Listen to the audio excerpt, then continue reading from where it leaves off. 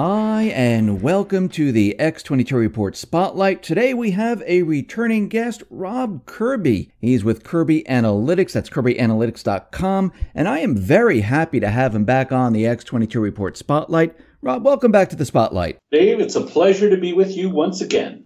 Hey, thanks for being here. And I wanted to start off with um, what's happening to globalism because we're seeing that uh, the U.S. shot down the, the Paris Climate Accord. The U.S. is telling other countries they have to fund NATO. We're seeing that we're reworking NAFTA. The TPP is dead. Sent a representative to the Belt and Road. And now we're changing the banking regulations. Do you see uh, globalism being dismantled? What's happening with globalism right now? I believe that globalism has hit some very, very large uh, speed bumps, uh, but I do not believe that globalism is dead and buried, at least not yet. So when you say not just yet, what do you mean? Like, do they have something planned, or do they have something else up their sleeve, or or is, uh, is go ahead? Uh, the answer to that question is yes. I believe that they have things planned or up their sleeve. These people, these people have shown uh, a great deal, uh, when I say these people, the globalists have shown a great deal of resilience. They seem to double down at every opportunity. It's, it's like, it's like with this, with this Trump Russia uh, narrative that the mainstream media in America has been trying to propagate and promote over the past number of months, Dave. Uh, uh, it's been shown to largely be a complete nothing sandwich or a nothing burger as it's been referred to. But these these these clowns at, at CNN and CNBC the Washington Post the New York Times they seem they seem to every time they're they're they're made to look like fools for uh, you know pushing this narrative they seem to double down and and and try to sensationalize uh, new granules of of nothing uh, regarding uh, Trump and and Russia or people around Trump and Russia. So they, they, they just don't seem to have any interest in uh, admitting defeat, uh, and it's it's and it's not just the, the the Democrats that are that are involved in this it's really a bipartisan effort because it's the highest levels of the Republican Party uh, with Eddie Munster, uh, uh, Ryan, and and uh, and McCain uh, uh, doing everything in their power, seemingly to me anyway, to undo the or or delegitimize the, the, Trump presidency. So no, I don't see them going away. Um, it seems to me that they they continue to put up roadblocks and try to run interference whether whether it's whether it's in Trump's ability to name, select, and name people to key government positions, uh, uh, to to fill out the roster in his administration. Um, they've just been running interference perpetually. I mean, uh, Trump by and large, his administration is still being run in many key positions, is being run by holdovers from the Obama administration simply because the vetting process for for potential uh, uh, Trump administration people uh, has been has been gummed up by the bureaucracy that was left in place by, uh, by Obama, and uh, uh, he is being prevented from governing effectively. but but all that being said, I think Trump has has accomplished a great deal. So and and you know illustrated by his uh, uh, taking America out of the uh, this climate this climate hoax, the the Trans-Pacific Partnership.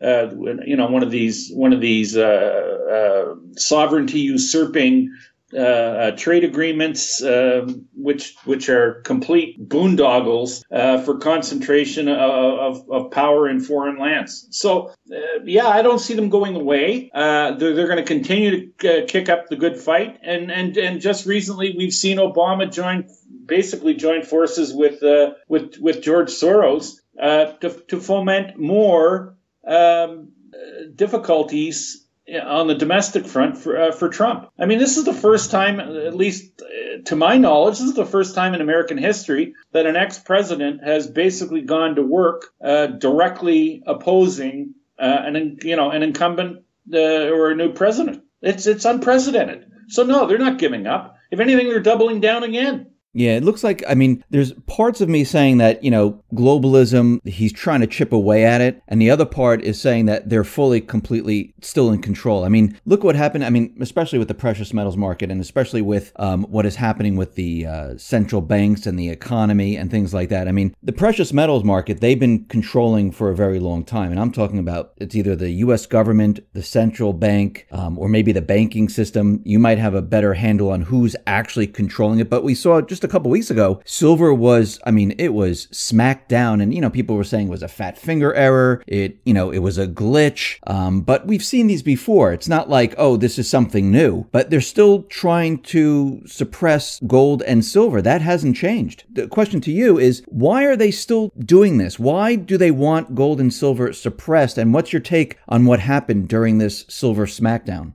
Uh, the reason the precious metals are suppressed, Dave, is because they represent uh, the go to alternative to the uh, uh fiat US dollar. And as, as, the, as the historical go to alternative to a currency that's being debased and, and defaced by the people who have the uh, power to print it, um, th- this this becomes or this puts a big target on the back of the precious metals, in that they, they can't be seen to be viable alternatives, at least at least in the in, in the in the eyes of the people who control the uh, uh the plight of the U.S. dollar. Um, so so it's under uh, precious metals have been under a constant and and uh, persistent attack for for the, for the very longest time. And you know, I, I as to as to when this is going to end, uh, I, I, mean, I do believe there is an end uh, to this to this suppression, um, and, and I do believe that the suppression ends under a scenario where uh, promises are made to deliver physical metal, and the physical metal is not available to deliver,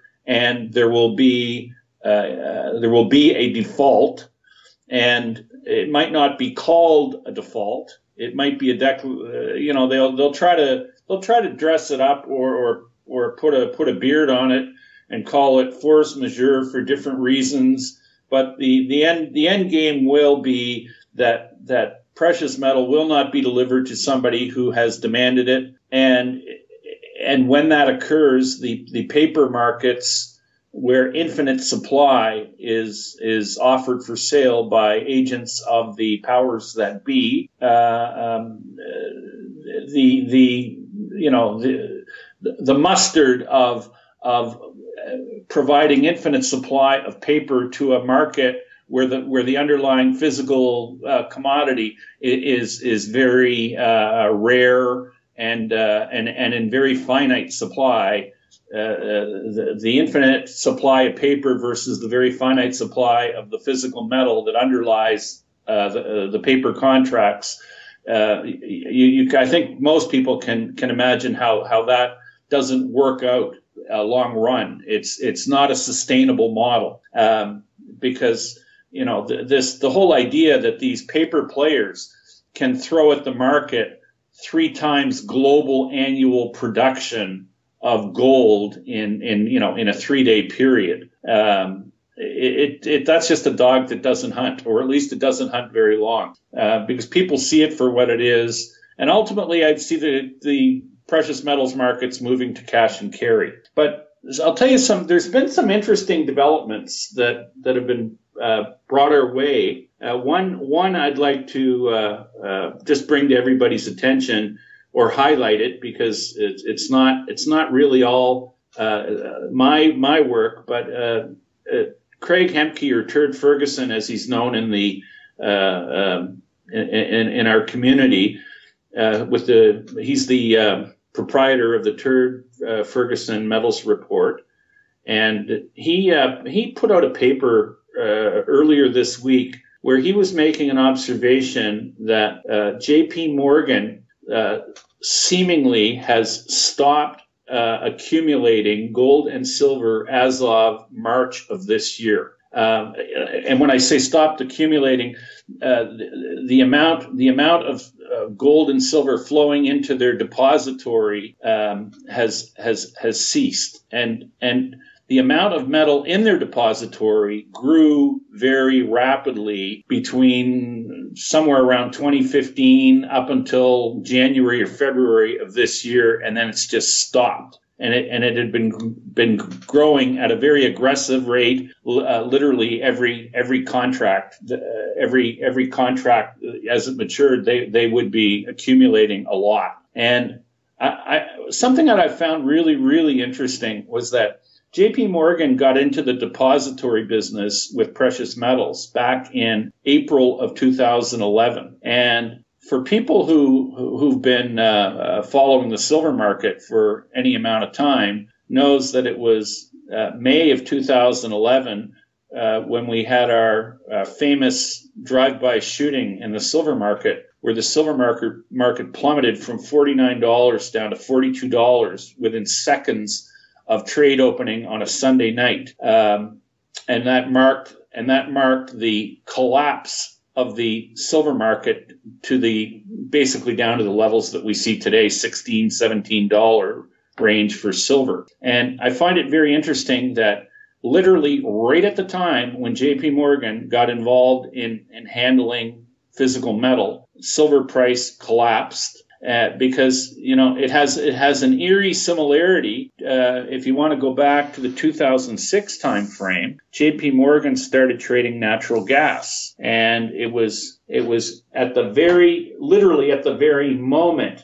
that J.P. Morgan start, opened up a natural gas trading desk that the price of natural gas plummeted from sixteen dollars down to whatever where are we today two or three dollars for for natural gas, and you know, it's it's no coincidence to me because I don't believe that I don't believe in coincidences to begin with. But I find it very interesting that the minute J.P. Morgan entered the natural gas trade, the price of natural gas collapsed, and then we had the collapse or the bankruptcy of uh, uh, of Amaranth, which was a big natural gas trading uh, uh facility, a hedge fund, uh, uh, back in that time frame, and um, JP Morgan had been serving as Amaranth's uh, uh, banker and Amaranth's uh, um, uh broker uh, to, to, purchase natural and, and to trade natural gas contracts.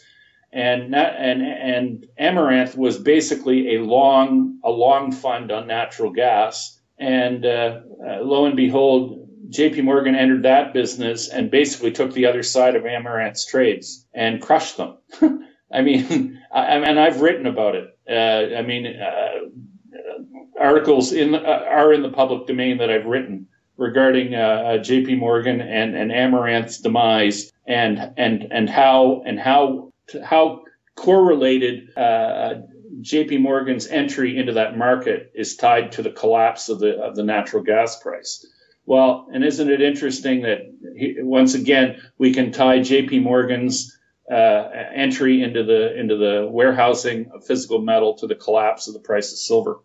Um, anyway, I, I, I, have to do some more work on that, and there'll be a paper coming on that. But the the the the coincidence of these two very strategic markets collapsing uh, um, when when J.P. Morgan uh, makes entry into these markets uh, really, really stands out like a sore thumb to me. Yeah, I don't believe in a coincidence. This is exactly what they've done. They saw an opportunity, they were prepared, and they brought it down, and it wasn't a coincidence. And we could see it all over the, the entire economy. I mean, with manipulation going on everywhere, it's not just in one little area, but there is one area where we can see what kind of an open market looks like in the crypto market, where we're seeing the ups and downs and things actually make a little bit more sense than they do in the precious metals market, in the stock market, in the economy with the manipulated numbers there. And every time I look at the crypto market, I think,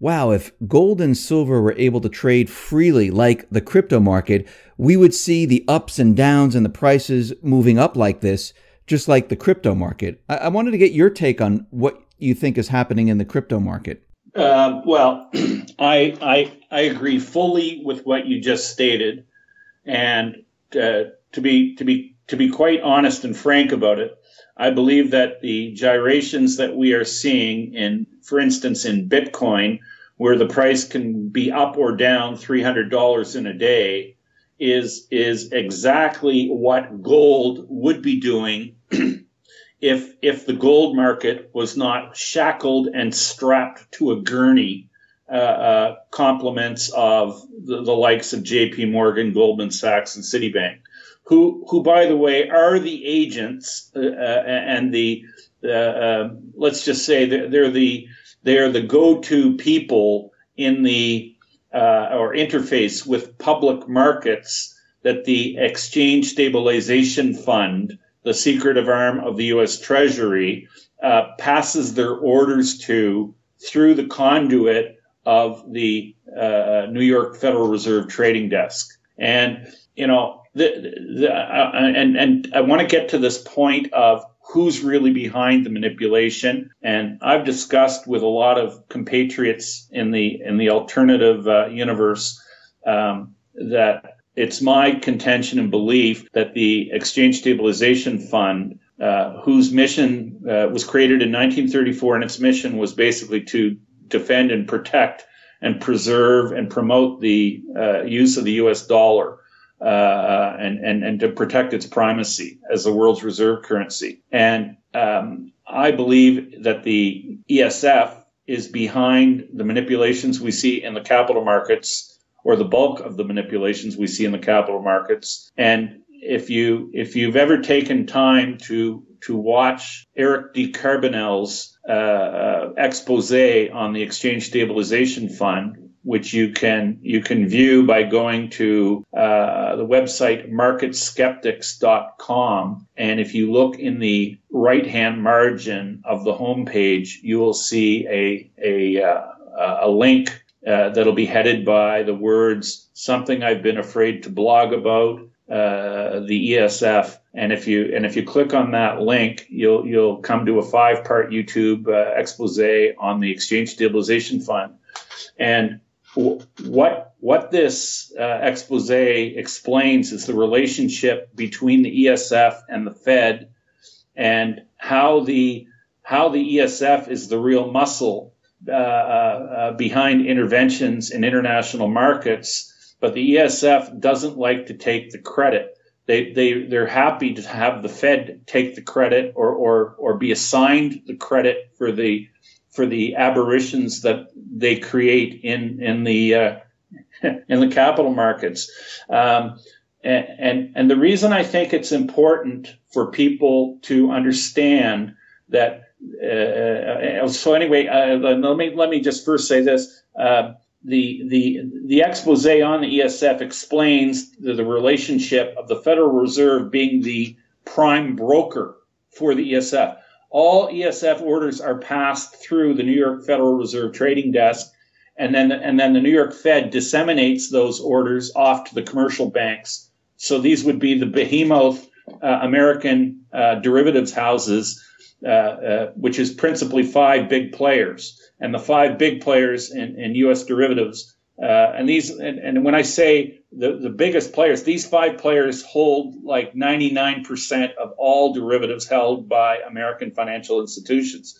So, and, the, and these five institutions are JP Morgan, Citibank, Bank of America, Goldman Sachs, and Morgan Stanley, the magnificent five. So, uh, the reason I think it's important to understand that it's the ESF that, that has that, that really controls things is because if you're going to effectively uh, um, go to war with with an enemy, you have to know who your enemy is. And I think a lot of people are misplaced by uh, perpetually blaming the Federal Reserve for all that goes wrong. And I'm not saying the Federal Reserve are good guys or the Federal Reserve is, is, is a great institution. But I'll tell you one thing. I think I think it's it's very clear to me the reason why uh, uh, the Fed does not ever want to be uh, uh, audited, and there's been so much resistance on both the government side and the banking side to to a to a real audit of the Federal Reserve. Be, because an audit, I do believe, if it was transparent, it would it would very clearly show that the the Fed is acting for the Exchange Stabilization Fund, and it's really people who have captured the uh, bureaucracy or, or that America's government is, is, is in fact been basically taken over. And uh, I think it's important to get that straight because if things are ever going to change, I think I think what needs to happen is is the the real culprit uh, uh, behind these uh, interventions and this market rigging. The, the true culprits have to be identified. And ultimately, the power, at least to me, rests with the Exchange Stabilization Fund that has that has dark money at its disposal that I believe amounts to many many trillions of dollars of of undeclared and unseen money. So, Rob, who actually is running the Exchange Stabilization Fund? Like, is it is it the Treasury Department? Is it one individual? Is it a group of people? The the you know, the, the, the, let's just say the name on the desk or the name on the office door where, where the where the ESF is run from is the is the Treasury Secretary. And I, I would I would I would believe let's just say it's part of the executive branch of government. And let's just say uh, and I and I've stated this recently. I I actually am at a point now where I wonder. I really wonder if if Donald Trump really got to select his choice for Treasury Secretary. I wonder if that was something that he was maybe maybe very frightened by in the uh, uh, in between between election day and and and his uh, inauguration.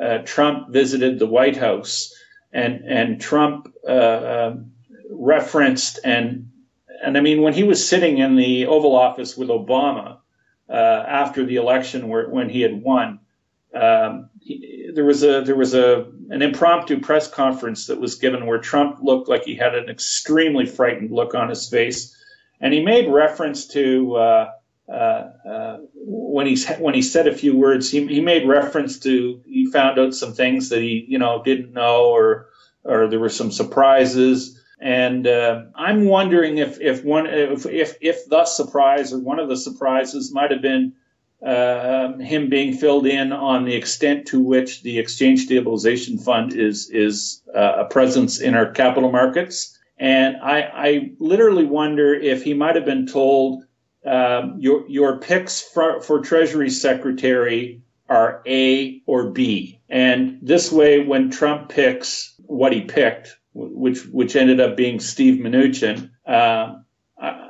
you know, he, he, can he can say, "Well, I picked him." Well, of course, you picked him, but you were given you, you you had a choice of A or B, and you chose A. But is that really a choice? It's it's sort of like it's sort of like if if you think back to the time of, of, of the or or think think about the uh, uh, think about the Chinese political system and uh, do people really have a choice? Like, is, is there anyone on the ballot in elections in China other than uh, uh, people who are members of the Chinese uh, Communist Party? And and and I question whether whether Trump might not have really had a choice. And he was told it's going to be it's going to be A or B because the powers that be that are that really do control the U.S. government, uh, uh, you know, they own it. You know, they they they own it and and and like America's an occupied country, and there's a lot of people who talk in those terms in the alternative press, and I just wonder how deep the control goes, and I and I actually wonder whether Trump really did have a choice. Like like I wonder if I wonder if Donald Trump had said he really really wants to have Catherine Austin Fitts as his next Treasury Secretary, whether that would have been allowed. Most likely not. So, uh, and, and, I frame it up in those terms. And, and, you know, and that, that being said, uh, I don't think Catherine Fitts would be interested in the job. But I mean, to me, she would make a wonderful Treasury Secretary, completely wonderful Treasury Secretary. But I, I just, I don't, for some reason, I just don't think that that would be allowed. I, I don't think she's on the approved list. And I think you have to be on the approved list to be considered for choice. And I don't think the approved list is designed by the president. I think the president is dictated to and told these are your choices. And this way, when he picks one, he can say he chose. But it's I, really, it's you know it's it's really all it is it's a it's a legalese sort of thing where where you can you know you have culpable deniability uh, you know uh, and you can and you can say hogwash i chose i chose the person well yeah you chose the person from a pool of two it's right. not really a choice you said the esf they're the ones propping up the dollar right now i, I believe so yes do you see countries dumping the dollar yeah turning- uh, I mean, countries have been over the past two years on an, on a net basis. Countries have been lightening up on their U.S. government securities, and and and the countries that have been lightening up over the past couple of years include China, they include Japan, they include Saudi Arabia, and these are countries that are traditionally America's uh, uh, largest financiers. So my question has been over the last couple years like I, I, can't really I can't really point to any entity and, and, say this is who's buying the bonds that are being liquidated by America's uh, typical uh, uh, lenders. So like the bonds are disappearing. The like the bonds are being sold, and and my belief is they're being memory hold. They're they're being they're they're being bought by dark, uh, dark money out of the exchange stabilization fund and this is why the bonds aren't showing up in the ledgers of any other countries. So, you know, you, you, you, you inject dark money into, into the markets and uh, uh, the bonds come out of the market and they go into the dark hole. And, and, and, and what, what logically would you have as a? Uh, I mean, this, this would be philosophically, this would be a very inflationary uh, uh, type, type of uh, activity or, or action and lo and behold, what do we have? We have real estate markets around the world that are just going up at, at, at tremendous rates.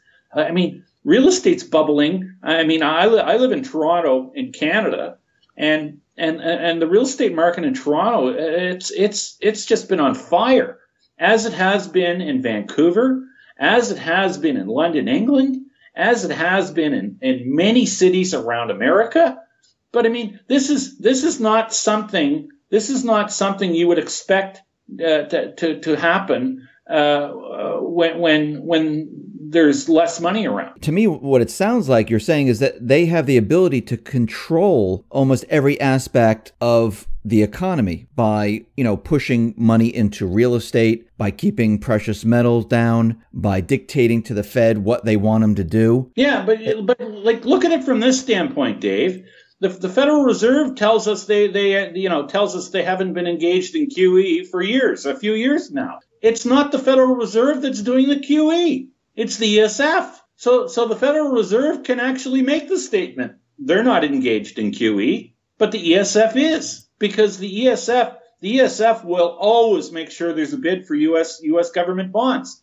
You know, here's another another very interesting factoid, which which I'd love somebody to explain to me. You see, uh, Germany, for instance, who is basically uh, viewed as the best credit in, in the European uh, system. And uh, um, Germany uh, has, has, has in the past had failed bond auctions where they could not auction bonds, failed auction wasn't enough bids to to cover the amount of bonds they wanted to sell. And, and, and it's happened like on like on many occasions in Germany. But America's never had a failed bond auction, not publicly anyway. And I'll tell you, there's a reason why America has never had a failed bond auction because they have the ESF in, in, in the background who will always make sure that bids, a sufficient number of bids are made that they have a successful bond auction. You can take that to the bank because I'll just tell you something. Uh, there have been there have been times there have been times in the last 20 years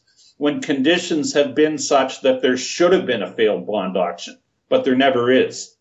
And the garbage that we're fed, the garbage that we're fed as as to uh, uh, you know how how deep how deep and, and how robust the, the U.S. Uh, government securities market is is is a, is is a fairy tale just just like the fairy tale of, of 9-11 and a building falling, a 50-story building, building seven in the World Trade Complex, falling without a plane hitting it. It's a complete fairy tale. And it's a complete fairy tale to to suggest that the US would never have had a, a failed auction.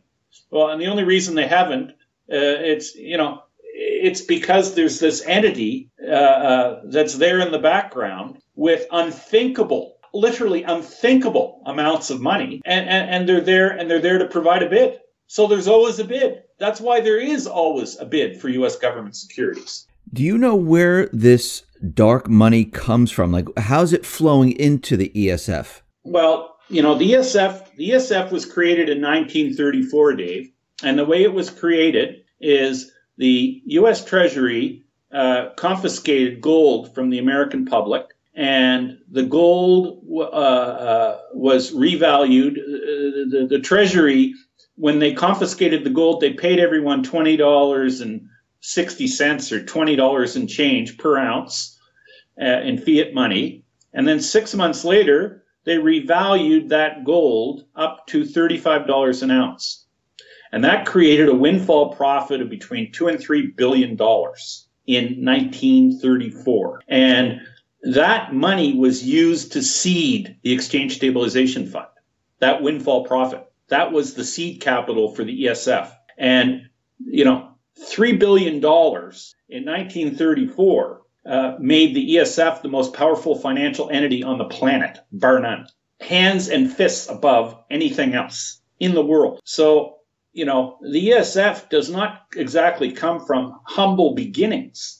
The ESF, in, in its in its inception, had a scary, scary amount of money. And if you do watch the expose on the ESF uh, uh, at, at, at Mark uh, that I uh, spoke about, the link to which is at marketskeptics.com, you you you will see that basically the central banks themselves uh, the central bankers themselves were very, very concerned that so much money was going to be put into uh, uh, uh such, uh, let's just say, an, an opaque entity where where it was going to be controlled by, you know, basically shadowy forces. So yeah, so you, uh, you know, this. I, am trying to deal with with your your question. You see, the ESF is engaged. Uh, basically, uh, is not subject to any laws. The ESF is not subject to any oversight. The ESF does not produce, contrary to what anybody else might tell you, the ESF does not produce comprehensive annual financials. They they are free to trade in absolutely anything they they deem uh, uh, relevant to their mandate. So, it, like if if it's relevant to their mandate to uh, have regime change in a country, they they they they're engaged in that. If if it's relevant that they're involved in shadowy arms dealing, they do that. If it, if it's relevant to be involved in, in look, you name it, drugs, uh, uh, uh, you, you can go to some pretty dark places. So you know the, the notion that these guys the notion that these guys have have unthinkable wealth is is not really a stretch when you consider the range of what they are capable of dealing in, which is anything. They don't pay tax and they don't produce financials. So you tell me what what a three billion dollar animal uh, created in 1934, uh, uh, basically subject to no rules, no tax, uh, no no audit. Um, you know, and, and, and the other thing I, I will also mention, uh, w- whereas the ESF has no oversight, the the Federal Reserve uh, does have to come before Congress twice a year, and you know the Senate Banking Committee, and and answer uh, answer to uh, lawmakers under oath twice a year. No such no such rule applies to the ESF, and you know, and and it's also it's also very interesting uh, to note that nobody nobody in in Washington, nobody in the mainstream financial, uh, nobody on Wall Street, nobody will talk about the Exchange Stabilization Fund. And you know, any any politician or any banker that would start talking honest honestly about the Exchange Stabilization Fund would be as welcome as Edward Snowden because it's a matter of national security. And of course, the uh, uh, preservation of the dollar as the world's reserve currency is is a matter of national security because that's what America is. But it's really a lot of smoke and mirrors. That's what it really is. As countries continually you know, move away from the dollar, what are these individuals going to do? Because their whole system is based on having the dollar as the reserve currency and, and having control over the world. No, listen, other countries, Dave, are coming mm-hmm. up the curve and, and, and get it. Other countries realize that there's a reason why America can do things that nobody else can. And it's not, and it's not intuitively because Americans are smarter or because Americans work harder. It's because Americans have these, have these, these, they, they've got these, uh, trick, trick things that are put in place that, that people are getting jiggy with. That's why, that's why countries around the world are, are, are negotiating, uh, you know, bilateral and multilateral trade agreements amongst themselves where they exclude the dollar from uh, settlement and trade. And, and, and, these deals are being negotiated all over the place and have been uh, being done so now for the last number of years. This is, this is why countries uh, are, are, are, are, wagering into the or, or wading into the cryptocurrency uh, realm because the, the, the, the cryptocurrency realm doesn't allow for an exchange stabilization fund type of entity, uh, uh, you know, to, to manipulate it. You can't have you can't have dark cryptocurrency. Cryptocurrency is is is legitimate. Uh, uh it's it's basically it's tamper proof. Okay, and that's why there's been a lot of that's why a lot of a lot of countries have been uh, uh, you know, loath to uh, endorse it. And, uh, you know, I'll, I will say this cryptocurrencies and the adoption of cryptocurrencies stand as a very, very, very big problem for U.S. dollar uh, uh, uh, preservation or preservation of the U.S. dollar as the world's reserve currency on a go forward basis. It absolutely stands as an impediment. So, um, you know, where the cryptos go from here, I think they're going to continue to be adopted. Um, you know, there, there are aspects to the cryptocurrencies that scare the living daylights out of me in, in that, uh, you know, cryptocurrencies are dependent on a, a, a, free and functional and operating internet, which, which means that the power grid isn't interrupted. Uh, and that sort of doesn't sit well with me because I don't think it's a, I don't think it's a given that we will always have dependable power. I don't think it's a given that we will always have a free internet. Um, so, you know, where do we go from here? But but let's let's let's just be certain on one thing. The reason the cryptocurrencies are exploding in value is because they represent another anti-dollar trade just as a run into physical precious metal is an anti-dollar trade, uh, uh, the rush for cryptocurrencies is also another anti-dollar trade. And the reason these things are going up is because the the traditional go-to uh, um, uh, dollar alternatives have been have been neutered and have been strapped to the gurney. And I'll tell you something, they won't remain strapped to the gurney forever and and their time is coming. But it's it's it's going to be physical precious metal that's going to appreciate, not the not the discredited paper uh, derivatives of metal. So anyway, that's where we're headed, and how fast we get there is anyone's guess. Um, you know, timing timing could be short. Uh, timing could even be immediate because we we could be in a window right now where where a complete and utter uh, reboot of our financial system might have to be undertaken at any time going forward. So we're living in unprecedented times, Dave. Yes, we are. Rob, thank you very much for being on the X22 Report Spotlight. Once again, how can people see your work? You can catch me on the web at kirbyanalytics.com. Fantastic. Thank you very much for being on the Spotlight. I appreciate it. My pleasure, Dave.